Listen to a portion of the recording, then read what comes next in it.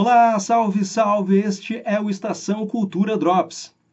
Andar pelas ruas do centro de Porto Alegre e encontrar rostos sem máscaras, pessoas em suas atividades de rotina e sem riscos à saúde. Isso é o que todo mundo quer ver, mas ainda não é possível.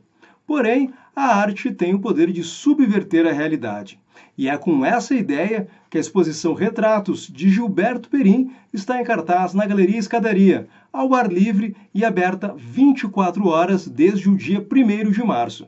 São 32 retratos feitos pelo artista visual antes da pandemia. Eu parti da minha memória também, dos meus arquivos, e também da vontade de poder mostrar a gente em grande formato, não são fotos pequenas, são painéis de dois metros por um metro, né? Em que eu posso mostrar gente, assim, numa situação de vida normal. Vida normal quer dizer o quê? Livre, sem máscara, podendo fazer o que elas imaginam. Então, isso, isso foi um, uma maneira de eu tentar amenizar a, assim o olhar de quem passa por ali no viaduto Otávio Rocha e dar um pouco de, de, de olho no olho mesmo, né? Então assim, retrato normalmente o olhar do fotografado está na lente, né? Ou seja, está em quem olha.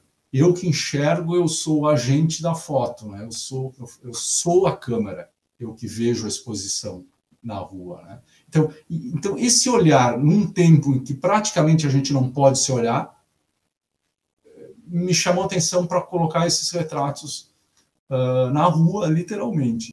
Afora tudo isso, se a pessoa não tiver interessada nesse assunto da relação da intimidade, da fotografia, dessa época de pandemia, eu acho que ela vai descobrir outras coisas nas fotos, né? Eu queria que as pessoas tentassem descobrir o mistério que tem em cada olhar na hora que eu fiz a foto. O mistério não do fotógrafo, mas do fotografado, né?